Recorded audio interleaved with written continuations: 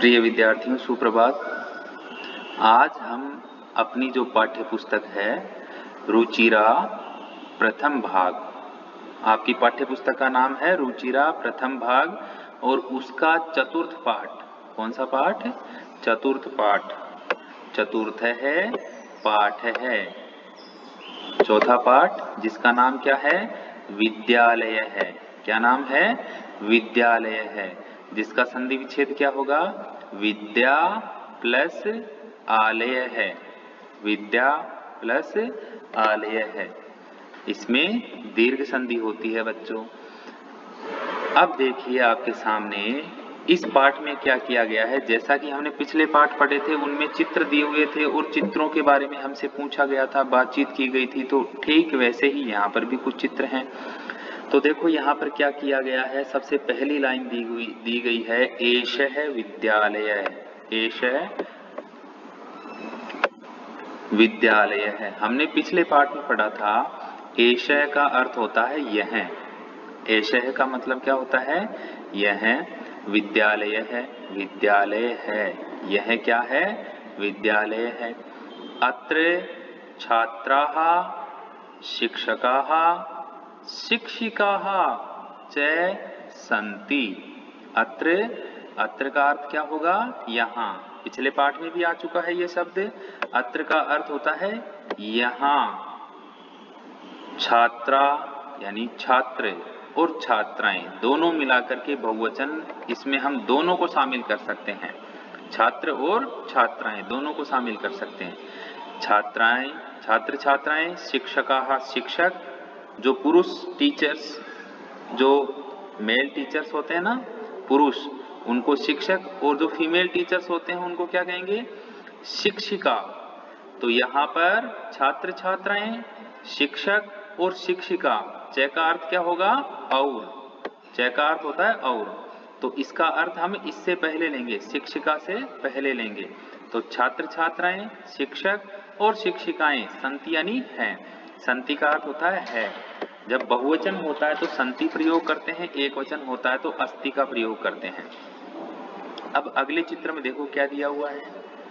अगले चित्र में हम देख रहे हैं कि यहाँ पर तीन लड़कियाँ हैं और उनके सामने तीन कंप्यूटर हैं और वो कंप्यूटर पर अपना काम कर रही हैं। तो ऐशा संगणक यंत्र प्रयोगशाला अस्ति ऐसा ऐशा यानी यह। ऐसा यह संगणक यंत्र। संगणक किसको कहते हैं? कंप्यूटर को कहते हैं। ध्यान देना, आपके लिए नया शब्द है। कंप्यूटर का संस्कृत में क्या नाम है? संगणक। और यंत्र मतलब मशीन। तो संगणक यंत्र का मतलब हो गया कंप्यूटर। प्रयोगशाला। प्रयोगशाला। प्रयोगशाला तो हिंदी का शब्द है। लेकिन इसको हम इंग्लिश में क्या बोलते हैं? लैब। ठीक है? जैसे आप बोलते हो ना, कंप्यूटर लैब। तो प्रयोग, ये कंप्यूटर प्रयोगशाला अस्ति यानी है। एतानी संगणक यंत्राणी संति एतानी ये शब्द एतानी का अर्थ क्या होगा? ये सब नपुंसकलिंग का बहुवचन है ये। इसलिए एतानी आया है यहाँ पर। संगणक यंत्राणी यानी संगणक यंत्र बहुत सारे, दो से ज़्यादा होते ही बहुवचन हो जाता है बेटा। दो से ज़्यादा होते ही क्या हो जाता है संस्कृत में? बहुवचन हो जाता है। संति यानी है। ये सब क्या है? कंप्यूटर है। अब आगे देखिए क्या है। आगे हमारे सामने एक चित्र है, जिसमें एक छोटा सा गार्डन दिखाई दे रहा है। कुछ बच्चे हैं जो क्या कर रहे हैं? खेल रहे हैं। तो देखो, एतत् अस्माकम विद्यालयस्य उद्यानम अस्ति। एतत्। एतत् का अर्थ होगा यह।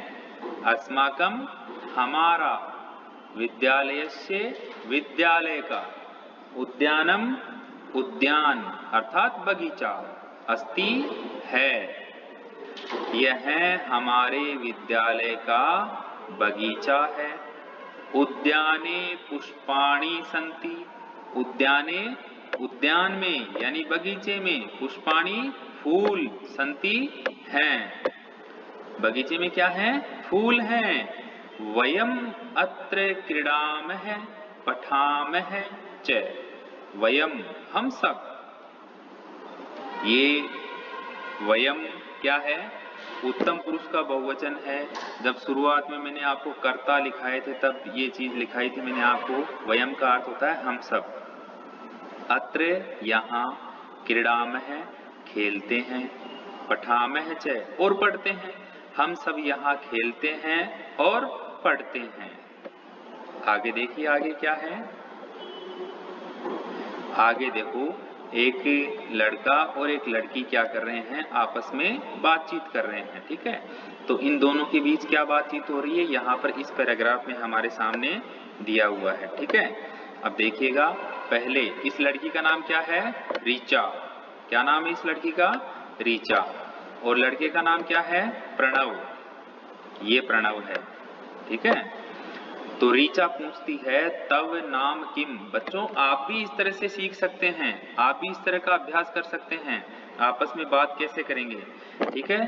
तो रीचा पूछती है, तव नाम किम? तव मतलब तुम्हारा। नाम यानी, नाम किम यानी क्या? अर्थात तुम्हारा नाम क्या है? तो प्रणव कहता है, मम नाम है, मम नाम प्रणव है, मेरा नाम प्रणव है।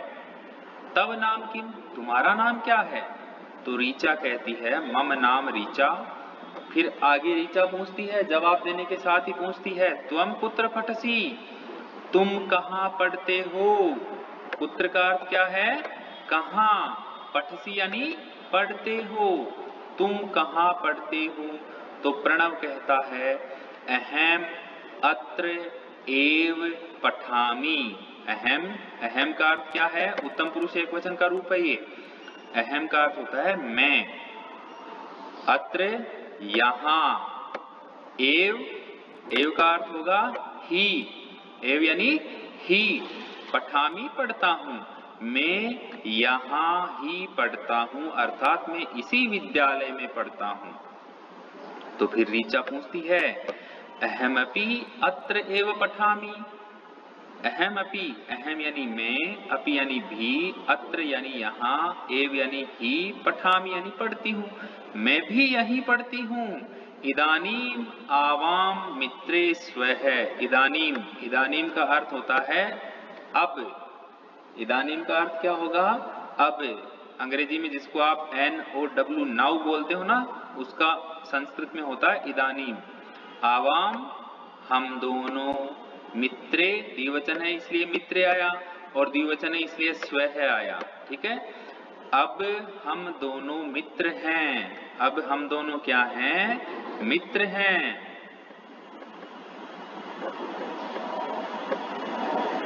अब अगले चित्र में देखो, अगले चित्र में क्या है? यहाँ पर एक टीचर है। और उसके सामने कुछ बालिकाएँ हैं, छात्राएँ हैं, ठीक है? अब ये क्या कर रही हैं? आपस में क्या बातचीत कर रही हैं? तो शिक्षिका पूछती है सबसे पहले छात्रा यूयम किम कुरुथ? छात्रा अरे छात्राओं, यूयम, तुम सब किम कुरुथ? क्या कर रही हो? तुम सब क्या कर रही हो? यूयम का अर्थ होता है तुम सब। किम यानी क्या? ठीक है? तो छात्राएँ बोलती हैं, आचार्य वयम गच्छाम। है आचार्य यानी आचार्य, जो संस्कृत में जो टीचर होते हैं ना, उनको आचार्य और लेडी टीचर होती है, उसको आचार्य। आचार्य कहा जाता है। वयम हम सब गच्छाम यानी जा रही हैं, हम सब जा रही हैं। तो शिक्षिका बोलती है यूयम पुत्र गच्छत? तुम सब कहाँ? पुत्र मतलब कहाँ गच्छत यानी जा रही हो? तुम सब कहाँ जा रही हो? तो छात्रा कहती है, सभी छात्राएँ कहती हैं, वयम, हम सब सभागार है, सभागार। गच्छाम है, जा रही हैं। हम सब सभागार में जा रही हैं। अब सभागार किसको बोलते हैं? जहाँ पर सभी बच्चे इकट्ठे होकर कोई ना कोई जैसे प्रोग्राम होता है, इवेंट होता है, जिसको हम ऑडिटोरियम हॉल कह सकते हैं। ठीक है? जिसको हम ऑडिटोरियम हॉल कह सकते हैं। तो ये बच्चियाँ, सभी लड़कियाँ बोलती हैं कि हम सब सभागार में जा रही हैं। शिक्षिका कहती है युष्माकम पुस्तकानि कुत्र संति युष्माकम यानी तुम्हारी। पुस्तकानि पुस्तकें। कुत्र कहाँ संति यानी है? तुम्हारी पुस्तकें कहाँ हैं? तुम्हारी पुस्तकें कहाँ हैं? तो सभी छात्राएँ क्या कहती हैं? अस्माकम पुस्तकानी अत्र संति हमारी पुस्तकें यही हैं। अत्र यानी यहाँ। संति यानी है। अब देखो लास्ट वाला चित्र देखिए। यहाँ पर एक टीचर हैं और उनके सामने दो बॉयज़ स्टूडेंट हैं, ठीक है? ये आपस में क्या बात कर रहे हैं? देखना। शिक्षक है। शिक्षक छात्रों अव की मात्रा, ये इसका मतलब द्विवचन है ये। कई बार बता चुका हूँ बेटा। छात्रों, द्विवचन, है ना? तो तुम दोनों, युवाम, तुम दोनों किम कुरुत है? क्या कर रहे हो? अरे छात्रों, तुम दोनों क्या कर रहे हो? तो छात्र, दोनों छात्र बोलते हैं, आचार्य, आवाम, श्लोकम गायावे। आवाम, हम दोनों, श्लोकम गायावे, श्लोक गा रहे हैं। हम दोनों क्या कर रहे हैं? श्लोक गा रहे हैं। तो शिक्षक कहता है, शोभनम, सुंदर। शोभनम मतलब सुंदर या बहुत अच्छा। किम युवाम श्लोकम न लिखत है। किम, क्या? किम का अर्थ क्या होगा? क्या? युयाम, तुम दोनों। श्लोकम, श्लोक को न न का अर्थ होता है, नहीं लिखते यानी लिख रहे हो। क्या तुम दोनों श्लोक को लिख नहीं रहे हो? क्या तुम दोनों श्लोक को लिख नहीं रहे हो? तो दोनों छात्र क्या कहते हैं? आवाम लिखावे। हम लिख रहे हैं, पठावे, पढ़ रहे हैं, गायावे, गा रहे हैं, चित्राणी अपनी रचियावे और चित्र भी बना रहे हैं। हम दोनों क्या कर रहे हैं? लिख रहे हैं, पढ़ रहे हैं गायावह यानी गा रहे हैं, चित्राणी अपनी रचियावह चित्र भी बना रहे हैं। तो शिक्षक कहता है, बहु शोभनम यानी, बहुत अच्छा बहुत सुंदर, बहुत अच्छा शाबाश। ठीक है? तो इस तरह से ये क्या हुआ? आपका पाठ पूरा हुआ। ठीक है? वीडियो को बार बार देखिए। समझ में आ जाएगा आपको बहुत अच्छे से। धन्यवाद।